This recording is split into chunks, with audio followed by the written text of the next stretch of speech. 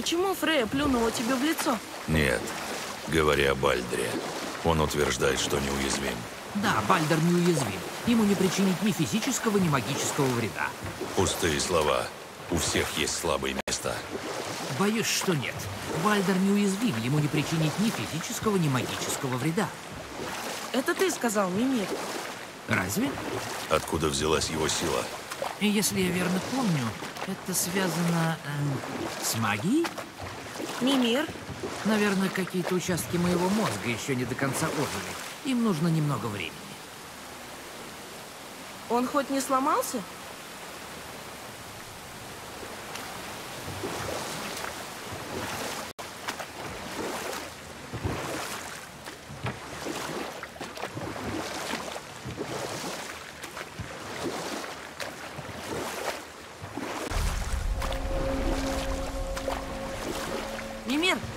Озере. Хорошо. Причаль у моста.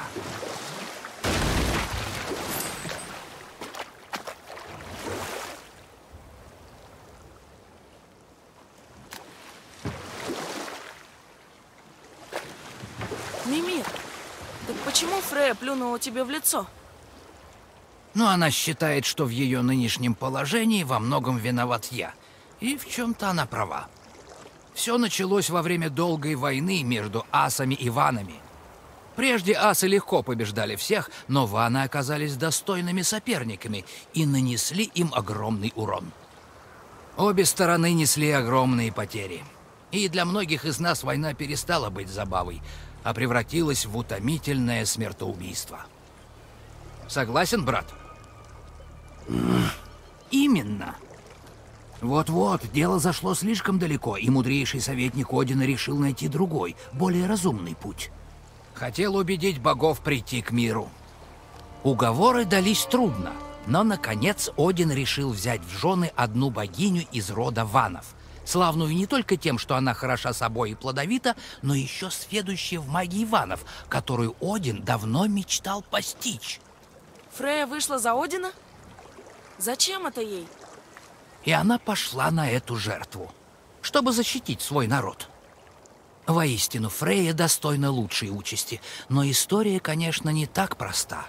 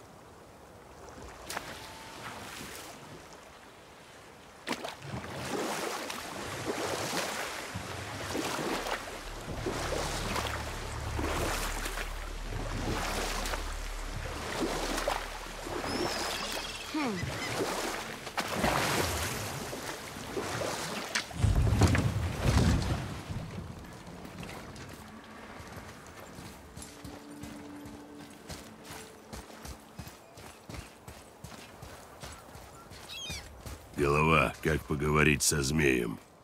На середине моста есть рог. Отнеси меня туда. Наконец-то! Это Рок!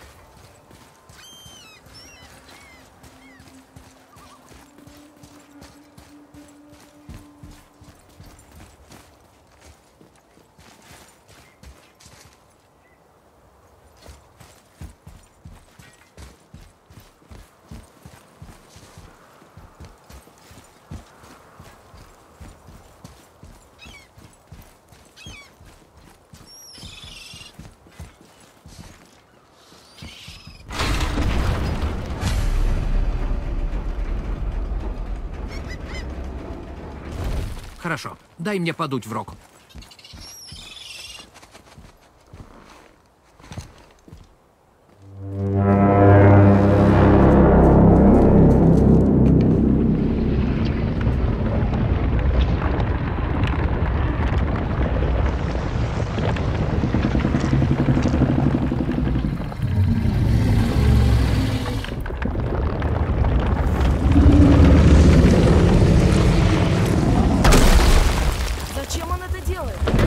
Один поставил тут эту статую в честь Тора. А мировой змей этого жирного болвана ну просто вообще терпеть не может. Наверное, устал на него смотреть. А ему не больно? Ну, видишь ли, в чем дело? Тор и мировой змей давно враждовали. И будут впредь. Наверное, смотреть на своего врага было еще неприятнее, чем терпеть ползущий по кишкам камень. Хочешь, я его спрошу? Нет. Нас интересует только Йотунхейм.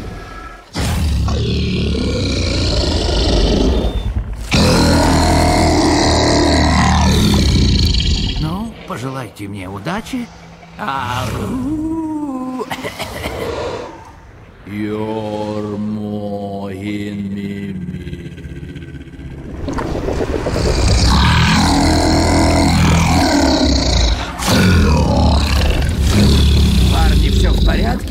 меня помнит.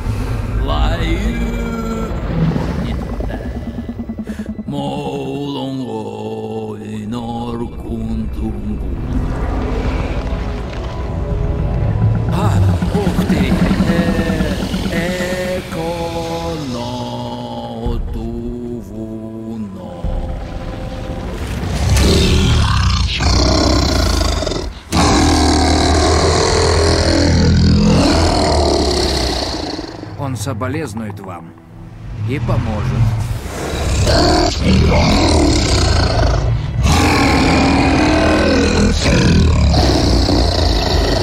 Эфнюм Фогур.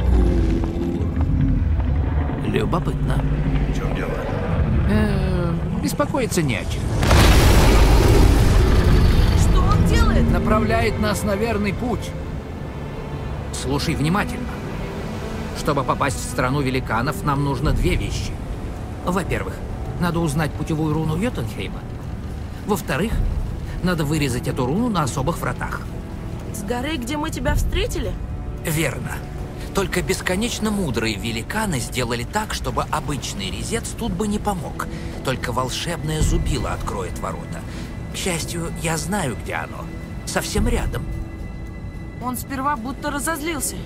А, он подумал, что вы друзья Одина. Прошу меня простить, никогда не говорил на древнем языке трезвым.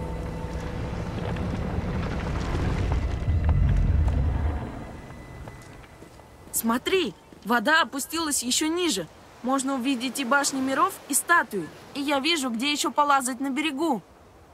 Где этот резец? Найди лодку, и я покажу путь.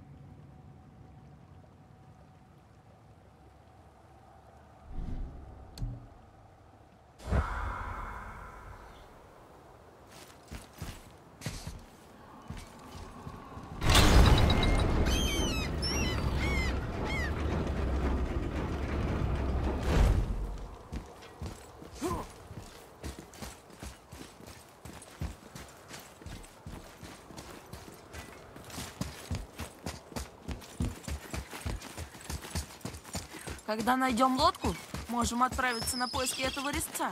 Или еще немного осмотреться тут. Но ты, конечно, сам решай.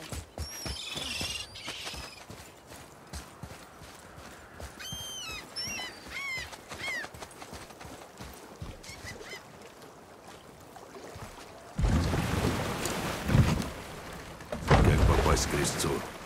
Нам туда, к статуям грибцов, а потом между ними.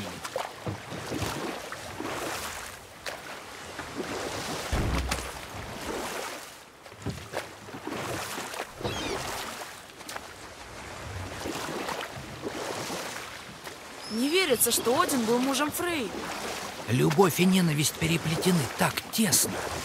Вот смотри, Один ненавидит великанов, а они его. Но мать Тора, великанша Йорт, была истинной любовью Одина. И Тор полубог, полувеликан? Странно. Йорт не стало. Один много веков провел в одиночестве. И когда разразилась война с ванами, я знал, что кроется за его бравадой. В результате долгих уговоров Фрея согласилась. Поначалу Один пустил в ход обаяние. Казалось, он счастлив и хочет сделать ее счастливой. Он исполнил столько ее желаний, я всех и не помню. Воцарился мир, и я поверил, что все получилось даже лучше, чем я планировал. Но в итоге Один показал свое истинное лицо. Он завоевал доверие Фрей, и она обучила его магии ванов, о чем потом горько жалела. Увы, несмотря на все старания мудрого советника убедить его, что только мир позволит отдалить Рагнарёк, Один так и не расстался с идеей захватить Йотунхейм. Познав магию ванов, он устремился к новым экспериментам и новым злодеяниям.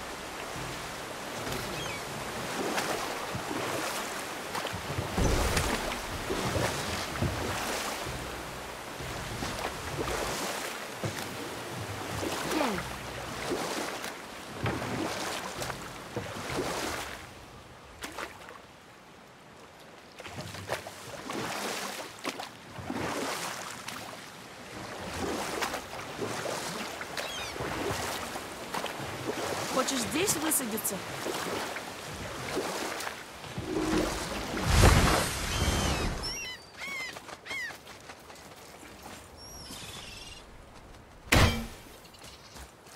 Гульвик,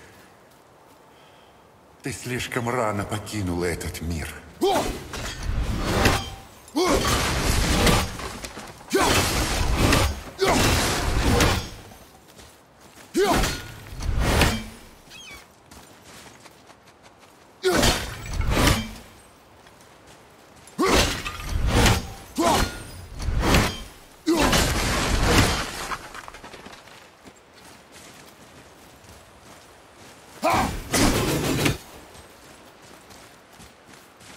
Ты станешь такой же, как прежде.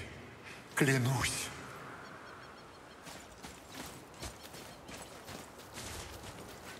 Ты, ходящий в мире живых, моя дорогая Гульвик зовет меня. Она мечтает о мире, но ее останки раздроблены. Умоляю тебя, собери Гульвик воедино. Мы должны собрать ее кости? Фу, Магия Гульвик не знает границ. Она может объединить тебя с тем, кого ты потерял. правда? Как? Сын, Я чувствую твою боль. Поверь, ее магия может построить мосты между жизнью и смертью. Пусть и очень ненадолго. сын, мы уходим. Они забрали три кости, милый Гульвик, и разбросали их по озеру. Принеси мне ее кости. Гульвик вознаградит тебя.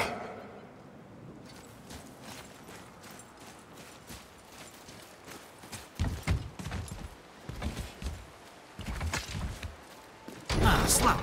Резец уже рядом, за этими вратами. Приготовься! Я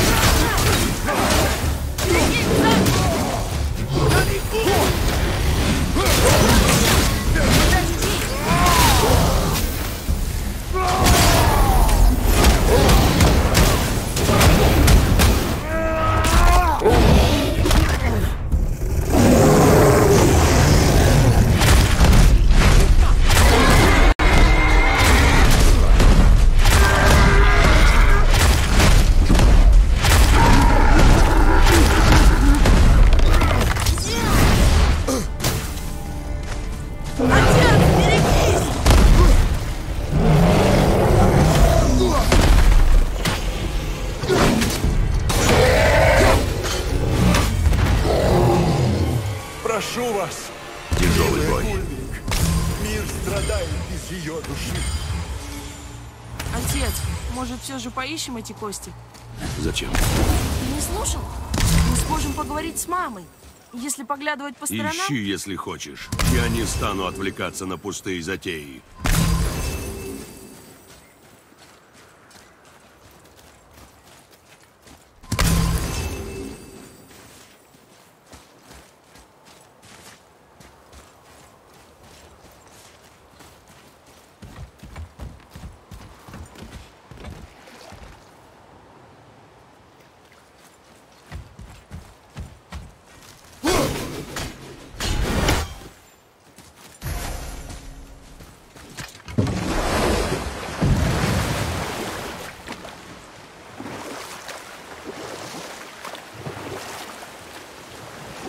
Что это за резец такой особый? Знаешь, я рад, что ты спросил. Любопытная история. Жил когда-то великан Тамур. И он был в самом деле великаном. Но, несмотря на свой рост, был, несомненно, лучшим каменщиком, какого видел мир. Тамур гордился этим и надеялся когда-нибудь передать свое искусство сыну. Но в груди юного Хримтура билось сердце воина. Возможно, отец слишком сильно боялся за него или, напротив, сын мало чего боялся. Так или иначе, они повздорили. И разъяренный каменщик ударил сына. Хримтур убежал в ночь. Сгорая от стыда, Тамур погнался за своим сыном, но был в таком душевном состоянии, что даже не заметил, что в одиночестве бродит по Мидгарду. К несчастью, он привлек внимание именно того, с кем ему не стоило встречаться ночью далеко от дома. Тора. И? Что было дальше? Увидишь.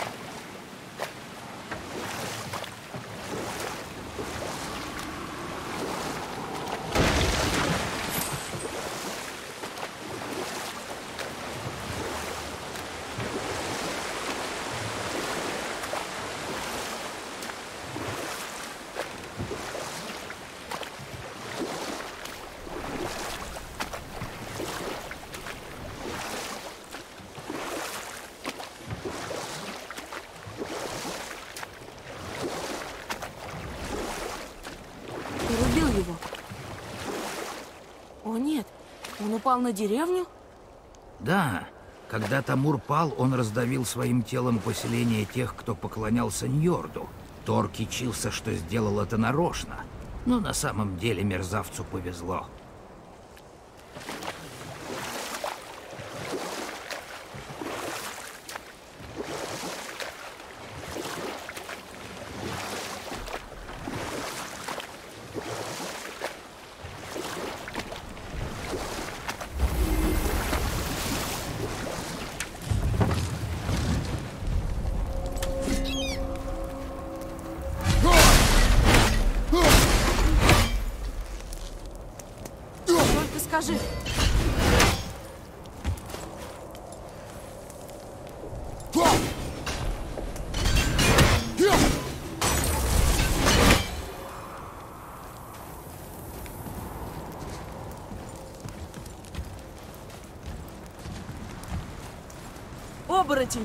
Опасный зверь. Убьем его вместе.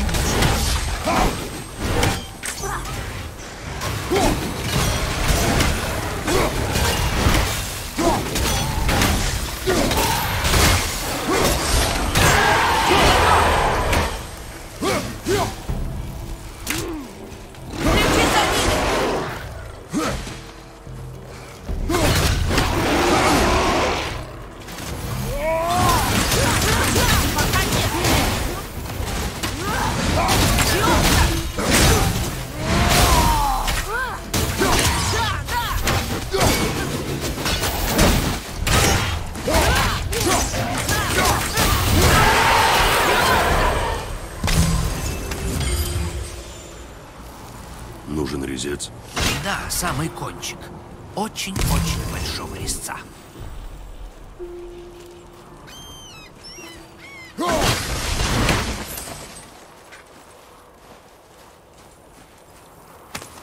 У великана перстень с каким-то кристаллом.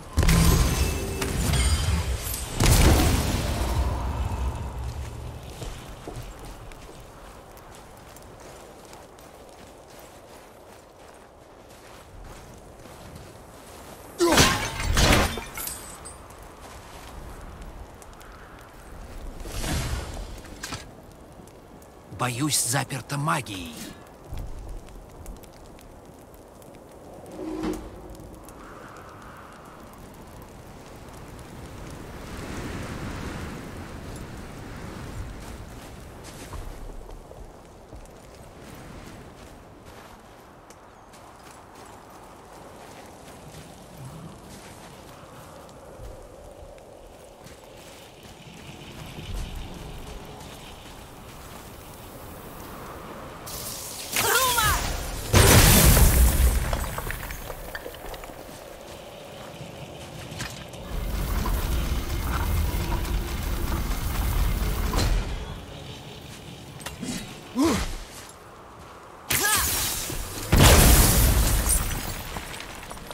О, отличный ход. Спасибо. Ой, нет.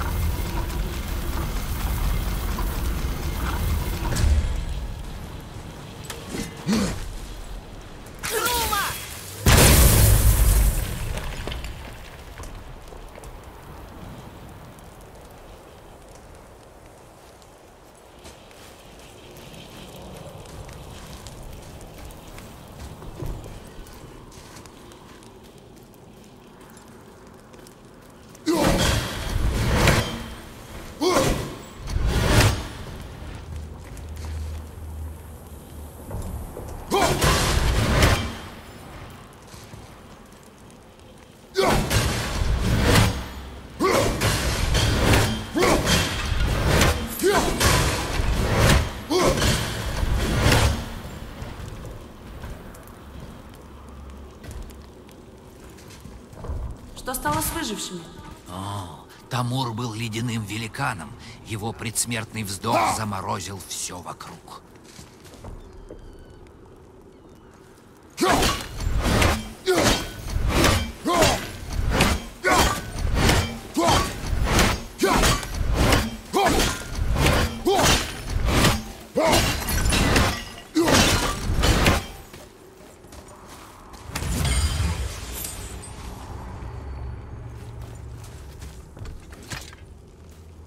Просто мы не откроем.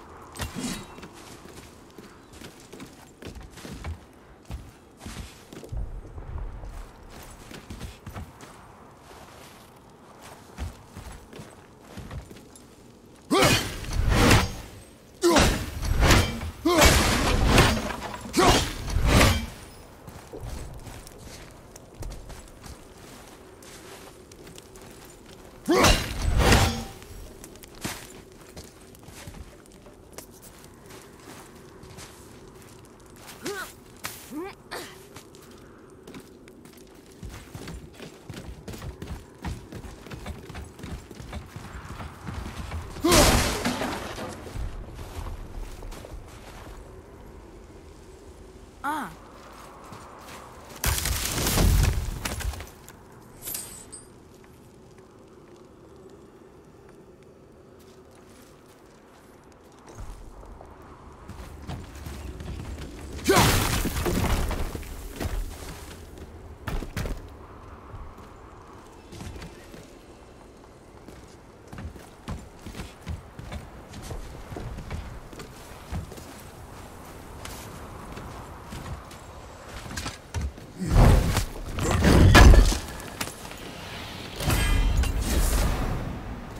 наверху.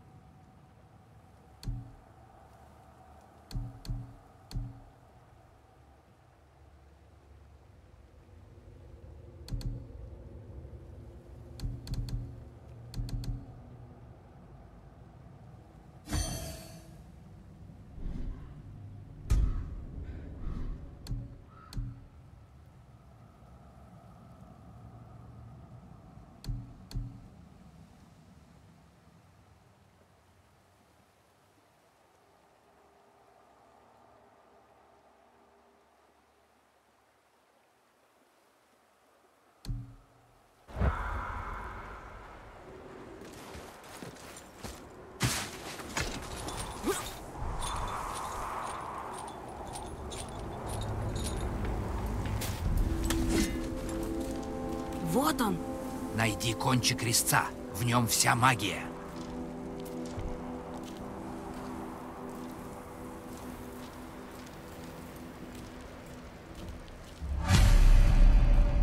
Впереди враги. Что делаем?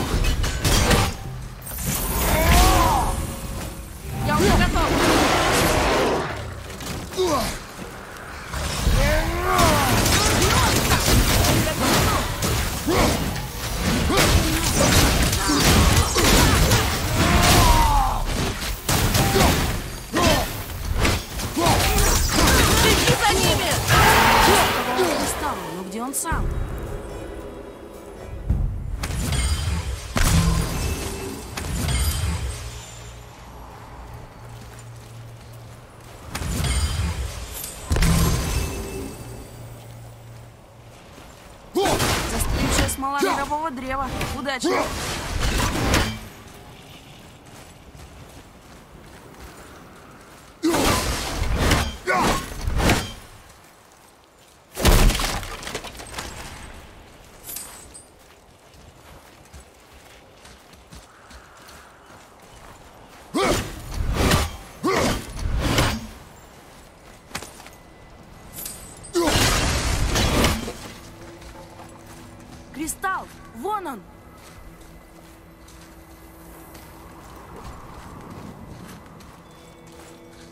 Что это значит? Слушаюсь. Ньорду мы подносим дар моря.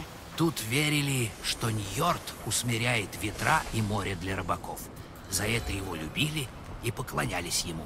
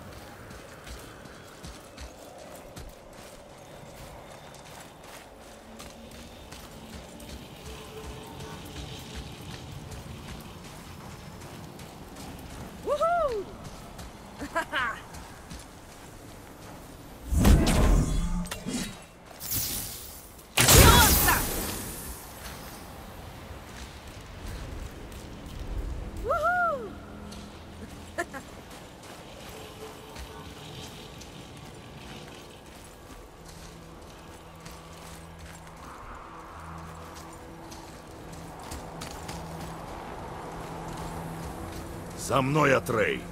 Сейчас вернусь.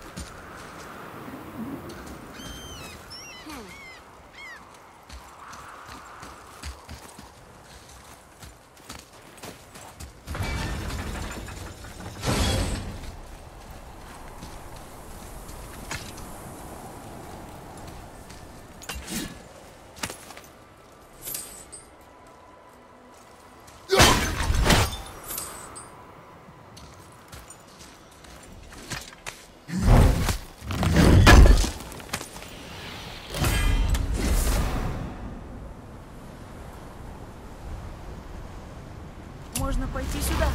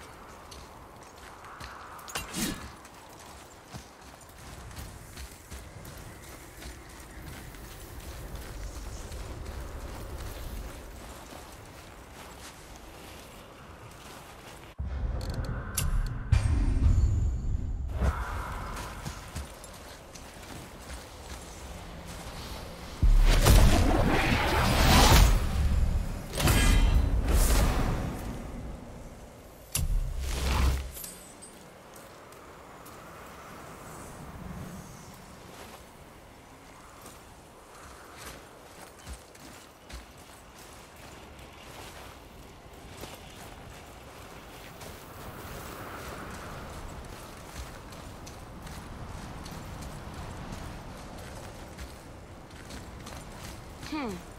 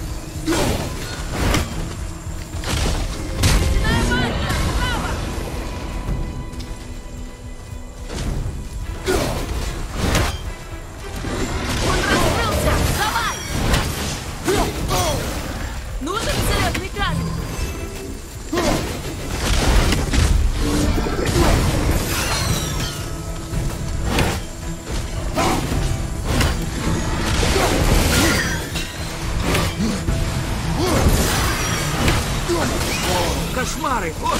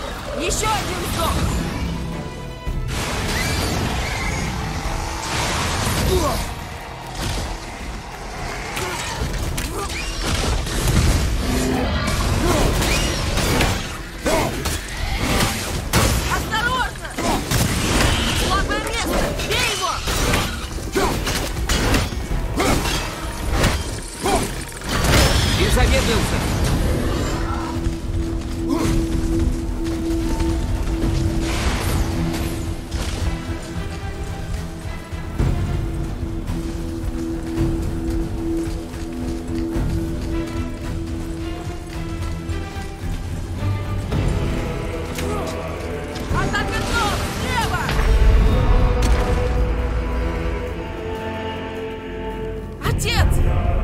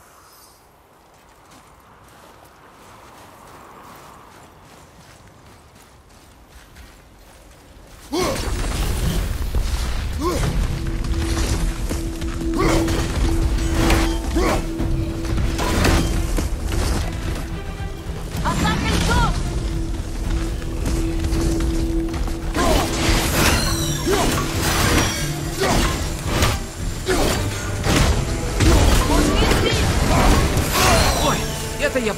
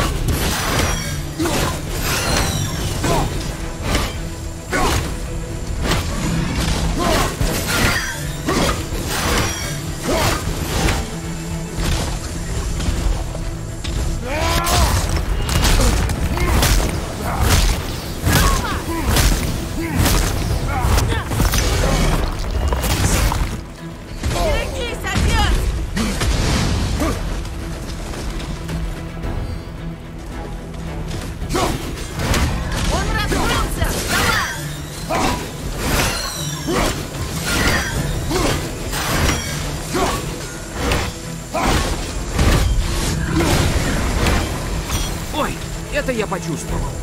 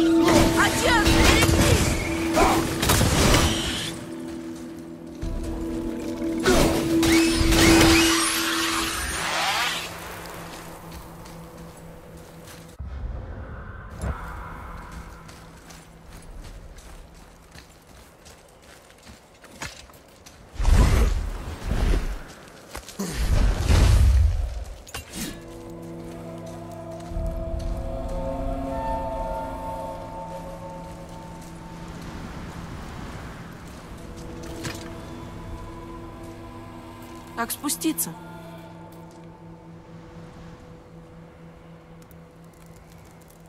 Есть идея. Да?